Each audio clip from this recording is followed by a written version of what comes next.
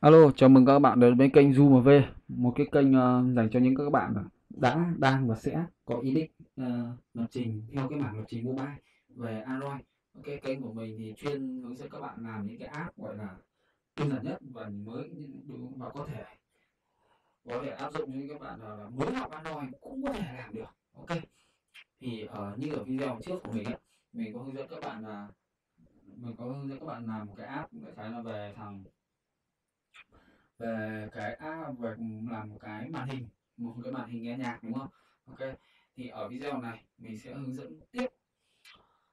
Uh, cho các bạn là cách để bấm cái nút play để chơi nhạc đấy để chạy nhạc uh, bấm dừng sẽ là dừng nhạc kiểu kiểu ấy. Ok. Gì? Rồi bắt đầu nhá. Thì ở video trước mình đã hướng dẫn các bạn là cách để đi ra thiết kế một giao diện tuy nhiên là cái nút cái thằng space cái cái, cái spinner của mình nó vẫn còn nó vẫn còn xấu đúng không? Xấu quá. Thì bây giờ mình sẽ làm nào để cho nó đẹp lên trước đã. Đấy thì muốn để cho nó đẹp.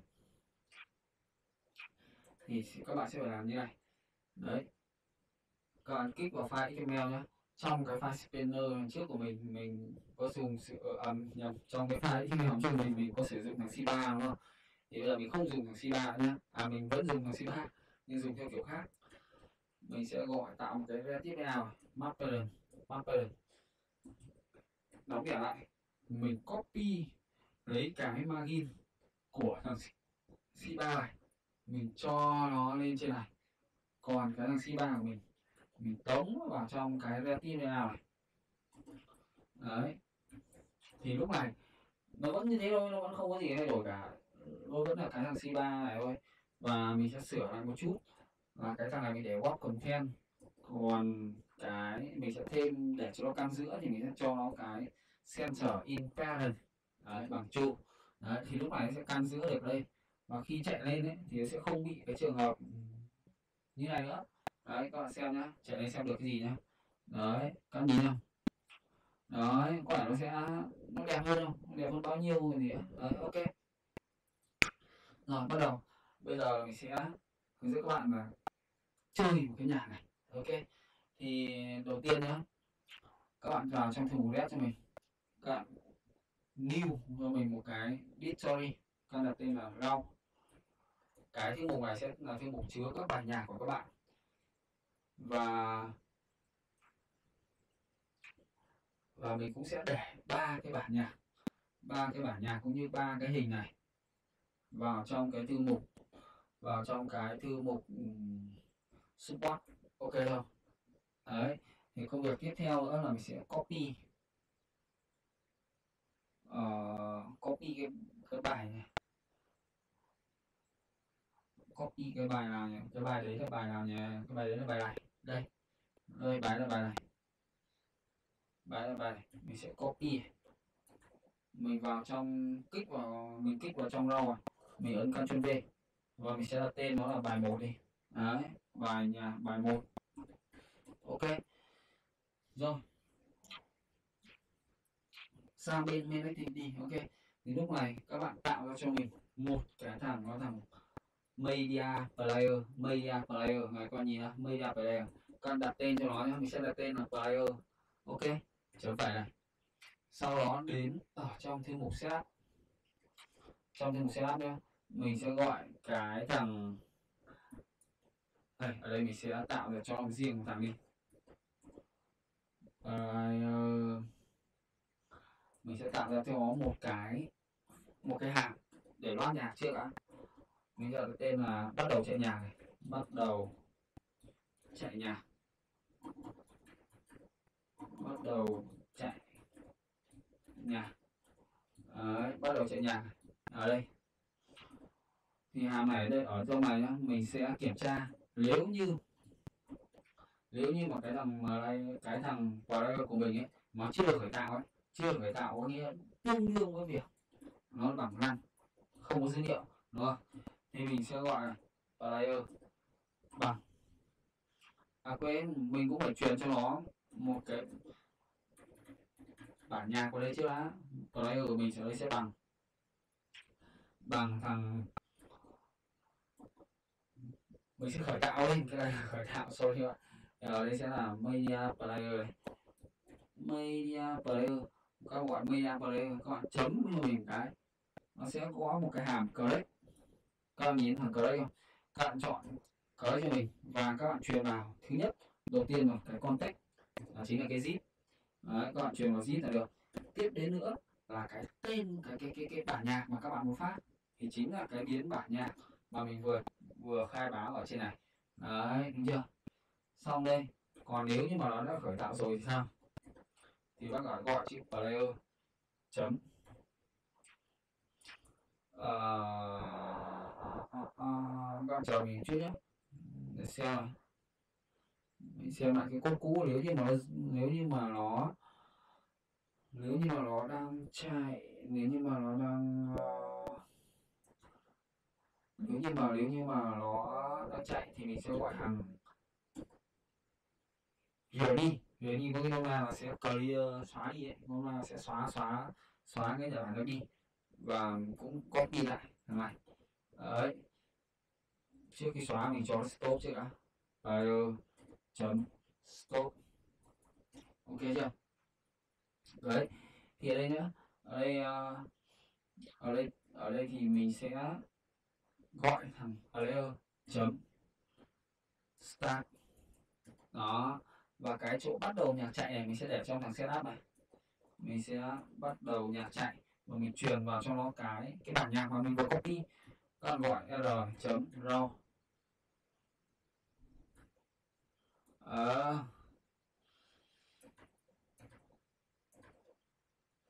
À, r chấm raw đúng không nhỉ? Sai đâu mà? R chấm rau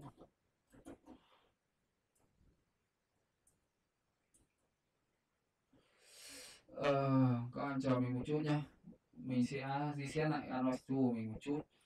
Hôm là nó đang bị ấy. Disconnect nó đang bị không nhận cái thư mục rau của mình. Hoặc là mình đã đang làm sai ở đâu đấy.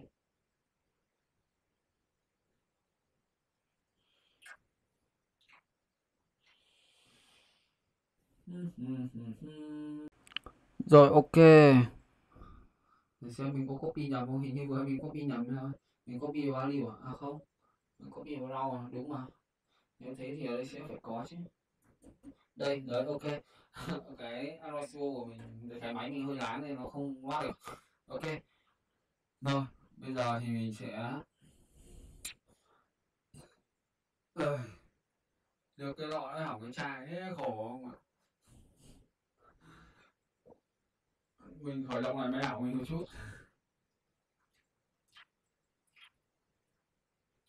Ta ta ta ta ta ta. Uhm. ở trong lúc đợi máy ảo thì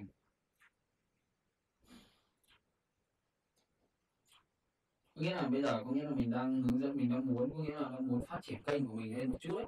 Có nghĩa là lên có nghĩa nhưng mà đang bị cái vướng vào cái là bí ý tưởng.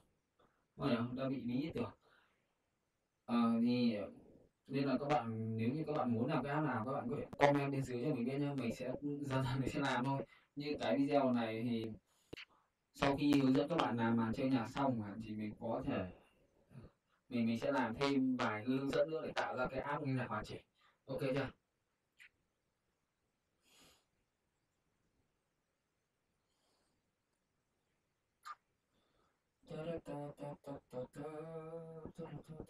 À, được rồi rồi bấm run lại để xem nó có chạy nhạc không nào?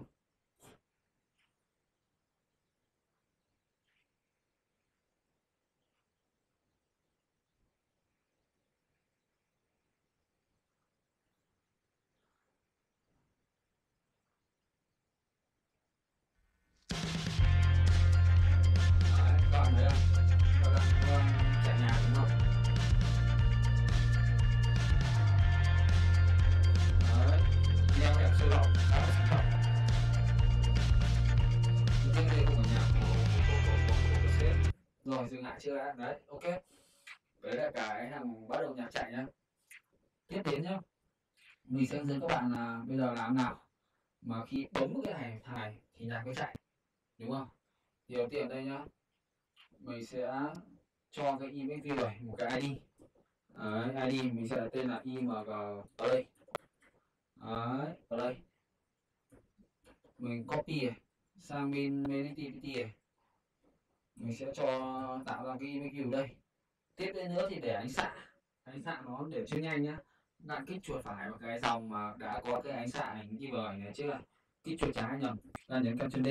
Đấy, thì ngay lập tức sẽ copy và nó paste xuống một cái dòng ngay bên dưới cho các bạn và công việc của bạn là chỉ thay ID và thay thằng này, thế là xong. Đó. Và mình sẽ xóa cái thằng bắt đầu chơi nhạc ở đây đi. Bây giờ mình sẽ phải làm hoàn chỉnh hơn, đúng không? Ở đây, mình sẽ gọi imgp mình sẽ gọi trong set click chấm set on click listener. New một cái view chấm on click listener. Có nghĩa mình đang gán sự kiện cho cái thằng loop play này. Đó thì đây mình sẽ kiểm tra mình sẽ có biến này. Mình tạo ra biến private này. À, nhạc đang chạy. Nhạc đang chạy à? chấm phải. À private uh, mình sẽ làm là mình sẽ làm lên, ok nhạc đang chạy. À, tiếp bằng uh, tiếp đến nữa là mình sẽ tạo ra biến là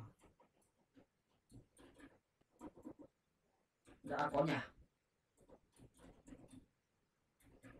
rồi mục đích của thằng này là gì? Có cái biến đầu tiên biến nhạc đang chạy là để kiểm tra xem là nhạc có đang đang chạy hay là các bạn đang bấm dừng đúng chưa? Còn đã có nhạc là kiểm tra xem là nhạc đã loát được đến chưa? Đấy nhạc đã loát được từ cái file mp3 lên cho các bạn để chạy chưa? Thì trong thằng setup nhá. Thì chắc chắn là đầu tiên là sẽ chưa loát nhạc đúng không? Chỉ mới gắn là chu. Ok. Đấy. Tiếp theo nữa là nhạc đang chạy này. À, đã có nhạc mình phải gắn là fail quên sorry và đã có nhà đang chạy mình cứ để fail luôn đấy. Thôi sau đấy nhá ở đây khi mà khi mà nhấn vào on click này mình sẽ kiểm tra nếu nếu như mà đã có nhà nếu như đã có nhà mà bằng bằng fail có nghĩa là chưa có nhà ấy, thì ngay lập tức mình sẽ phải khởi tạo luôn. Còn nếu không thì nếu không thì mình lại kiểm tra xem là cái biến nhạc đang chạy. Có phải bằng bằng chu nếu nhạc đang chạy là bằng bằng chu. Có nghĩa thì là nhạc đang chạy thì là mình sẽ tiến hành mình sẽ cho nhạc dừng. Còn nếu không thì mình sẽ cho nhạc chạy tiếp. Được chưa? Thì ở đây mình sẽ ở đây mình sẽ mình xóa thằng này đi.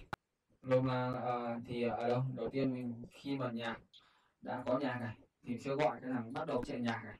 Mình truyền nó cho nó r chấm uh, nhạc uh, r chấm rau chấm bài một. Có nghĩa nếu như mà nhạc đang chạy khi mà bắt đầu chạy nhạc này đấy thì bắt đầu chạy khi mà chưa có nhạc đấy chưa có nhạc thì mình sẽ khởi tạo lên đấy khởi tạo lên và mình sẽ chấm cho nó chạy. Và lúc này thì cái image view kia image view ảnh vào đây kia của mình ấy chấm set mình sẽ xét cho nó một cái ảnh. Xét image resource đấy.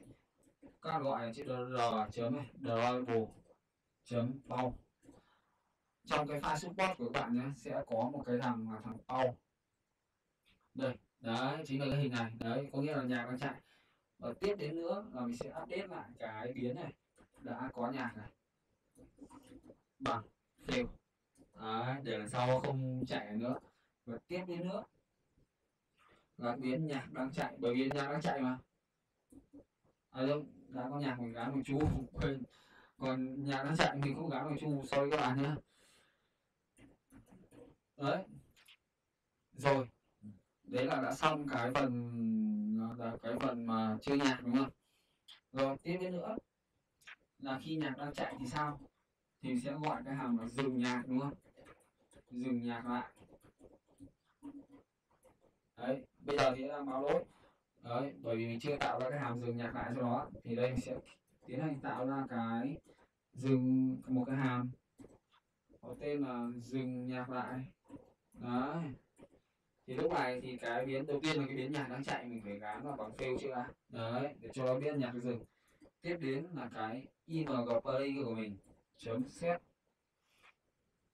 image resort image resort à, à image resort à, mình sẽ gắn cho nó là cái ảnh r chấm. Double chấm play đấy. Để khi rồi. Và tiếp đến nữa là mình sẽ gọi cái biến img play uh, cái biến player kia của mình ra. Chấm stop. Stop. Rồi còn khi mà nhạc khi mà nhạc đang dừng nhá, mà bấm nhá đúng không? Thì sẽ gọi là làm chạy tiếp nhạc này đấy, ở dưới ủa, chấm phải mà.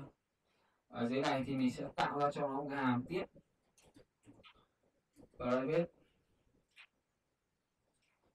chấm private void chạy tiếp nhạc này và chạy tiếp nhạc thì ừ, đầu tiên chạy tiếp nhạc thì đơn giản thôi.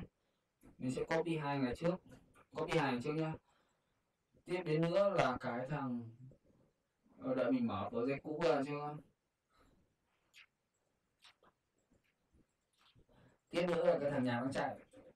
Thì lúc này sẽ là chu. Và cái icon nó phải hiển thị là cái con au icon dừng lại, đúng chưa? Và lúc này thì khi mà đầu tiên nhá, khi mà các bạn bấm dừng này, bấm nút dừng nhạc lại, thì nhạc nó sẽ dừng lại một cái khoảng thời gian nào đấy, đúng không? Và khi chạy tiếp nhạc này, thì nó sẽ phải chạy tiếp từ khoảng thời gian đấy.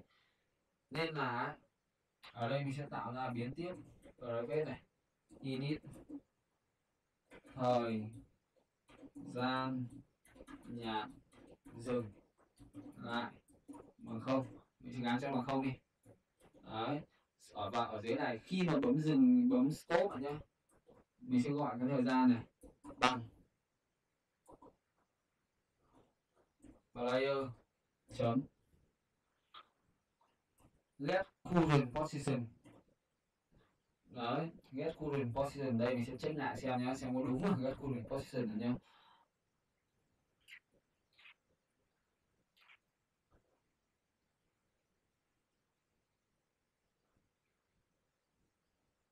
Oh, sorry các bạn, mình mình mình bị nhầm rồi. Thằng này không phải stop mà thằng này phải là pause. Đó, ờ, thằng này thằng này sẽ phải pause nhá. Rồi, tiếp đến nữa sau khi mà chạy tiếp nhạc ấy thì các bạn gọi cho mình cái thằng player à chấm nó có một cái thằng là c2 có nghĩa là sẽ chạy tiếp đến bắt đầu chạy bắt đầu từ đoạn nào ấy thì chỉ mình sẽ chuyển cái biến thời gian nhạc dừng lại vào đúng không đấy thời gian nhạc dừng lại vào và mình sẽ gọi. Uh, mình sẽ gọi player chấm start sorry các bạn lâu mình không động vào nên mình thi thoảng mình bị quên cốt ok đấy. Xong. Rồi bây giờ là đã xong rồi này. Đã xong rồi đấy thì bây giờ mình sẽ chạy lại thử cho các bạn xem có đúng không nhá.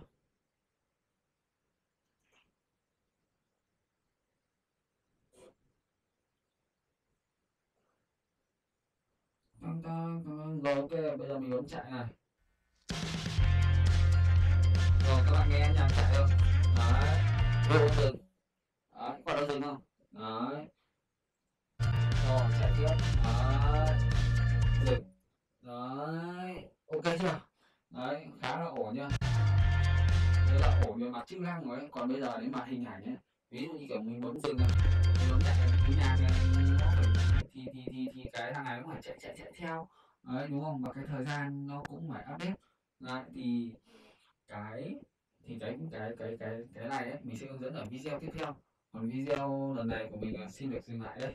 Ok nó hơi hơi dài một chút rồi nếu mà các bạn thấy video này hay và bổ ích thì các bạn có thể nhấn thì các bạn hãy nhấn like hoặc uh, nhấn đăng ký kênh. Còn nếu, hoặc là nếu như mà nếu như hay nếu như các bạn ủng hộ mình hơn các bạn có thể nhấn uh, chia sẻ video của mình cho nhiều người biết hơn. Ok. Đấy video của mình xin dừng lại đây. Chúc các bạn học trình vui vẻ.